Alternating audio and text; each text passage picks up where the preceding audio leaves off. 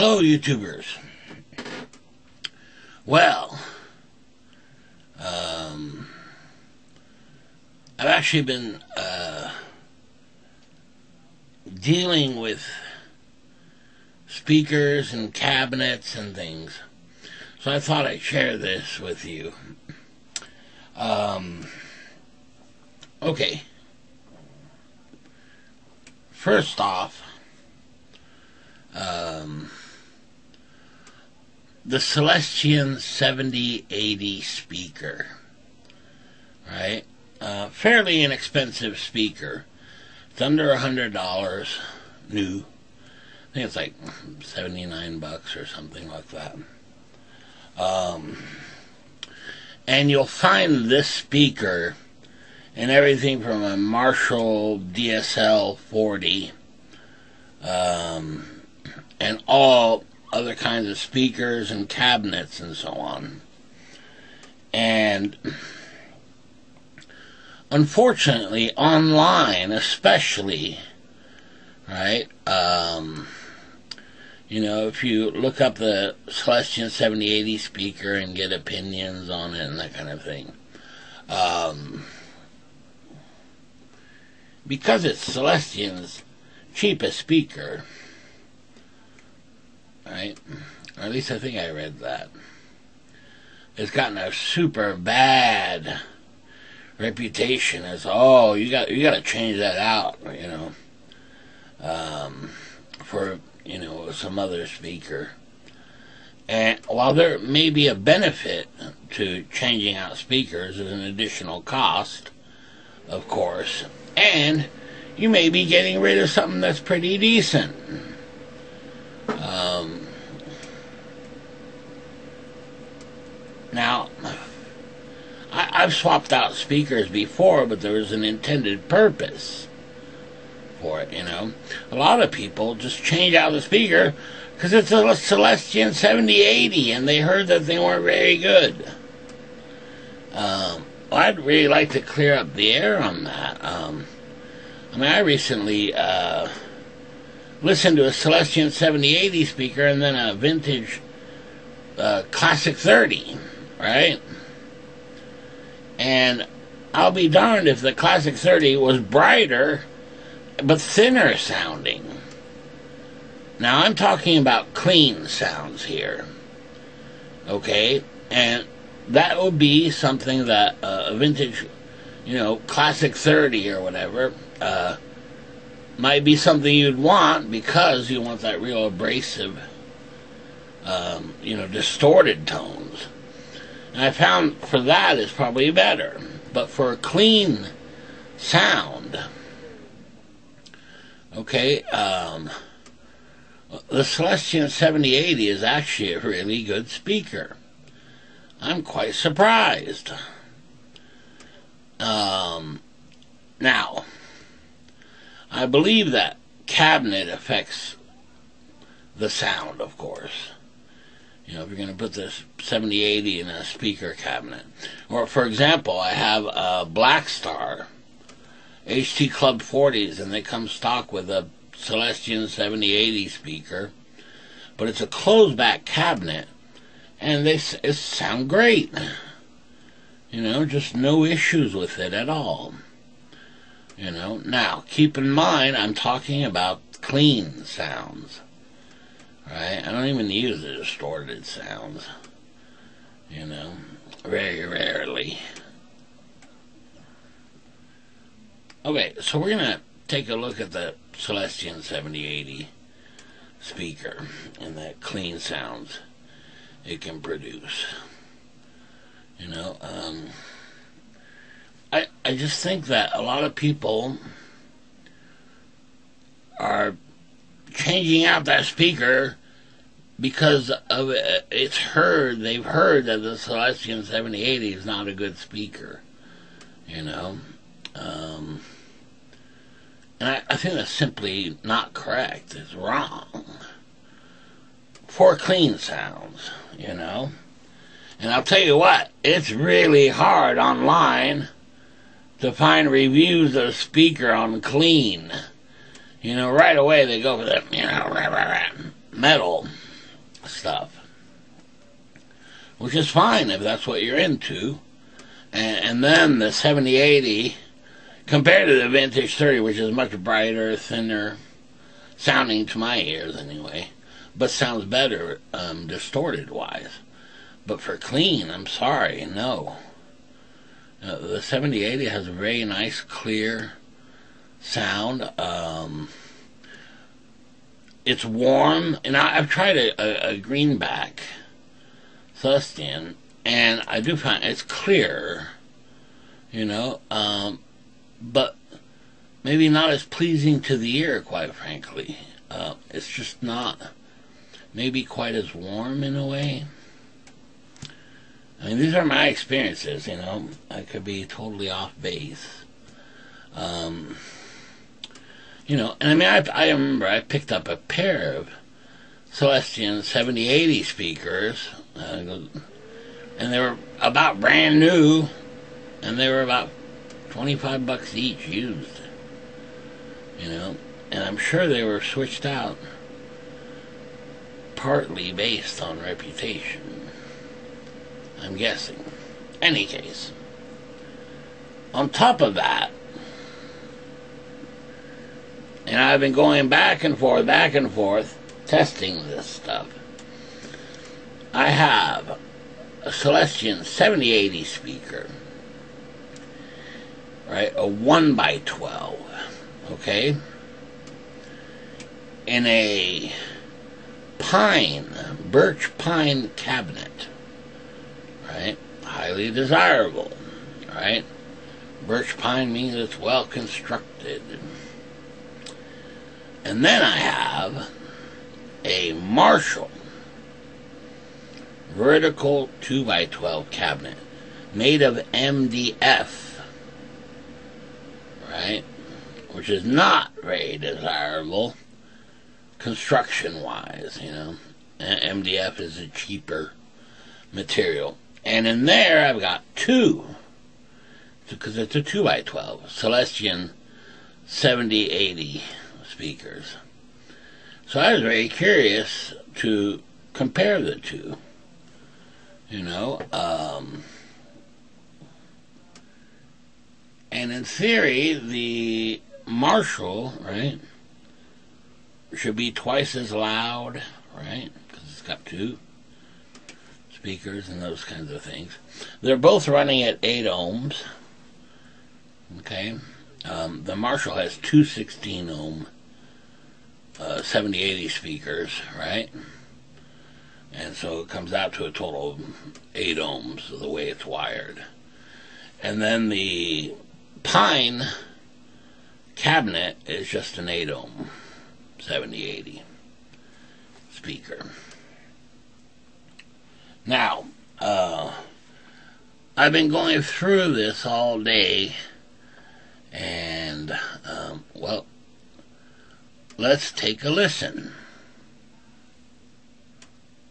Okay, so let's take a look at these two cabinets. First, in this corner, we've got the seismic audio closed back 1 by 12 with one Celestion 7080 speaker. Here it is.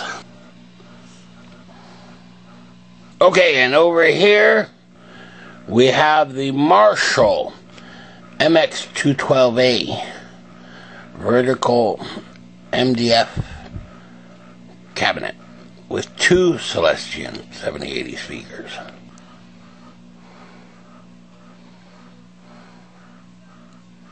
Okay, and it's closed back as well. Okay, now uh, I have a looper hooked up, so I don't know what I, I was playing just to test things. Uh, played something, I don't even remember what it is, but I'm going to turn it on just so we have an audio signal so that we can compare the two. Oh, and I should mention both cabinets are running at 8 ohms because the Marshall has two 16 ohm cabinets, but because of the way it's wired, it's 8 ohm. And the seismic audio um, birch pine construction is um, 8 ohm as well. All right. Oh, and I forgot to mention Uh, just to get a stereo sound, I have a, a little Fender X2 on the other channel. Uh, it's on, but at real low, and it's just running through the little 10 inch speaker, which I think is a Weber. Nice speaker, by the way. Um, so we'll keep that on the whole time, but just to get a stereo kind of effect. Um, and I mean, it's got, I've got uh, an H9 effect pedal and those kinds of things. Um, all right, so let's let's run that loop and let's hear first through the seismic audio one by twelve, right?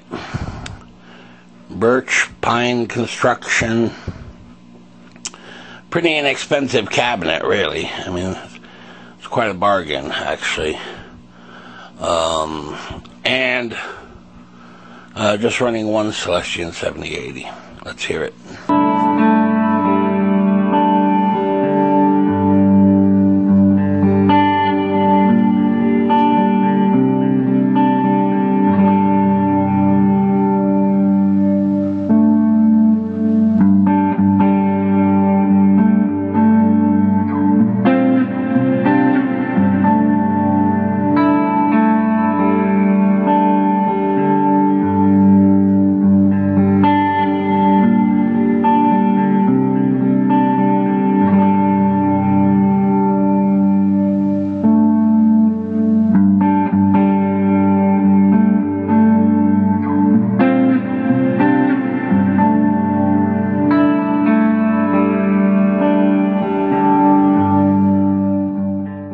Okay, to my ears, there's just nothing wrong with that sound. I really like it.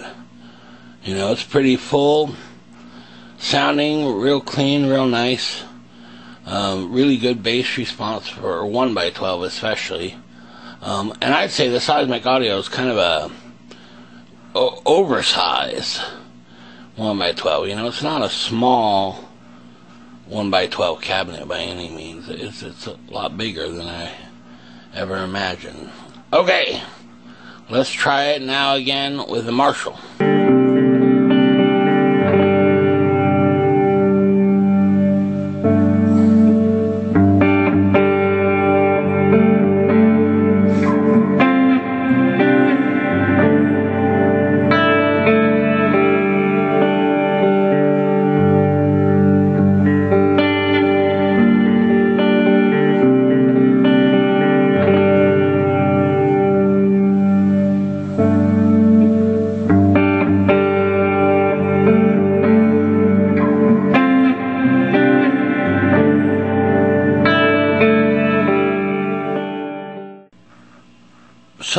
Marshall cabinet has a really nice um, big sound as well. You know, um, pretty nice as well. And what I'll do is during the editing, since I talked in between both, um, you know, I'll put them side by side, running that same loop, and then you can really tell the difference. And I'd like to know too.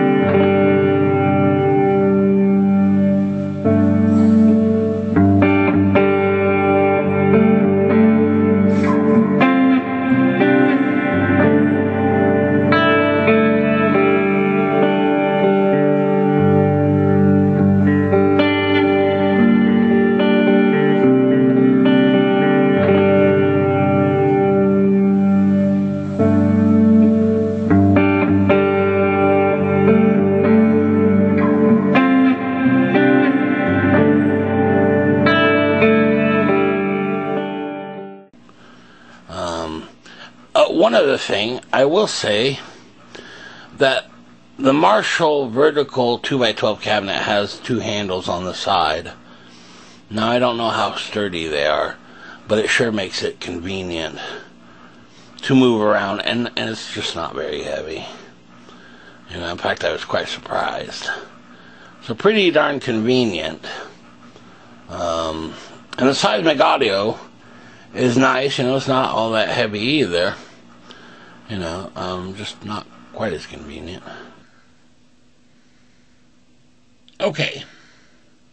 So, come to the conclusion that basically um, the pine cabinet is more resonant. Okay, definitely more resonant. However, I found that the Marshall cabinet a 2x12 um, has a very pleasing sound, even though it's MDF. Right? Construction. Um, I also found uh, that the the Marshall is kind of a uh, almost smoother sound a little bit, right? Compared to the single one by twelve. Um, it, it's really quite interesting. I mean, I like both, quite frankly, you know. Um, and I'm having a really hard time saying, well, which one's better? Well, I don't know. I suppose that the Marshall, right, can handle more wattage because it's got two speakers than the single 12, you know. But I mean, here it really doesn't matter because I'm running little 15 watt amps little tube amp, so that's not a real problem, you know. Um, and, and, it's really hard to tell which, which is better. I, I, I don't know, quite frankly. I think they both sound great, you know. Um, very interesting, though. Definitely different sounds, you know. Not just the fact that it's a 1 by 12 versus a 2 by 12 you know, but the cabinet as well makes a big difference. And let's not uh, forget price, right?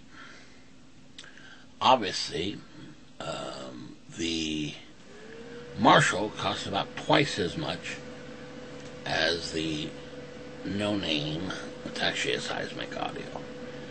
Cabinet, 1 by 12 right? Because there you're only paying for one speaker and one, you know, single 12 cabinet. The Marshall, you're paying for two speakers, right? And a 2 by 12 bigger cabinet. You know? Though I have to say the seismic audio is pretty, pretty big you know, for 1 by 12. Um, I don't know, I've been going back and forth all day, and I like both. You know, I wish I could point out that, oh, well, this one's, sound, you know. And, and that's not the case at all. In fact, um, I would think that the 1 by 12 is a little um,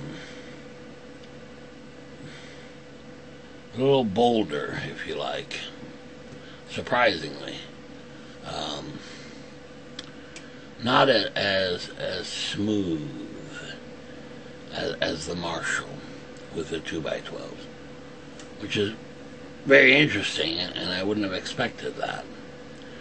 Anyway, um, you know, I guess if people are looking at things, are thinking, well, what do you think of the Celestion 7080, I personally think it's a great speaker for clean sounds.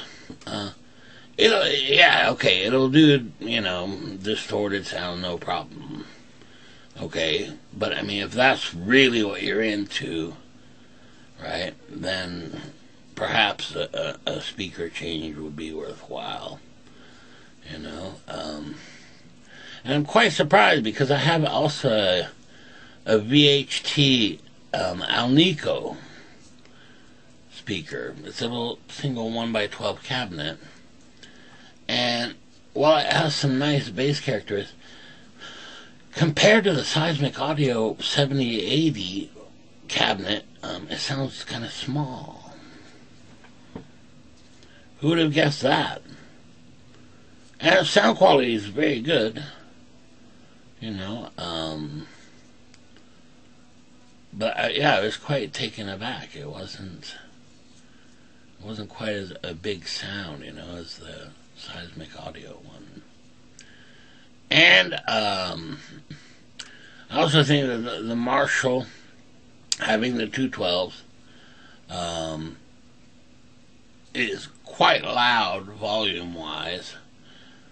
Um, but however, the seismic audio, the 112, was almost as loud. Now, is that the cabinet, the pine cabinet of the 1x12, compared to the MDF of the 2x12? Perhaps. You know, I, I was quite surprised, though. You know, I would assume that it would have been, you know, twice as loud, the Marshall with the 2x12 cabinet, but that wasn't the case at all. Anyway, on this one, I can't really uh, make too much of a decision. I guess you could, you know, what you hear, um, you know, you can make up your own mind, I guess. you know. Um, so I'm really in a quandary here. Um, well, maybe I'll just keep both. How about that? Maybe. You know. Um, and I mean, uh, don't get me wrong. I, um, you know, I'd like to try out some other speakers in, the cabinets and just see, you know, if it makes a big difference or not. Um, but I'm I'm really quite happy with the Celestion 7080. You know. Um, you know, in, in a way, I think um, I might try a, um, a Cannabis Rex speaker, you know, in the future. Um, I, I, remember I had one in a, little X2, a little 10 inch Cannabis Rex, and it made a huge difference you know, compared to the stock speaker. But the, reason was that the stock speaker would break up if you added any low end, on, you know, to the sound. It was, it couldn't handle it, I guess. You know, I don't find that that's the case with the 7080. It just, you know, on a clean sound, even at loud volume levels, or at least for me, loud, and not crazy loud, I guess you know, um, doesn't seem to break up or anything. Okay, very good. Uh, see you next time. Bye.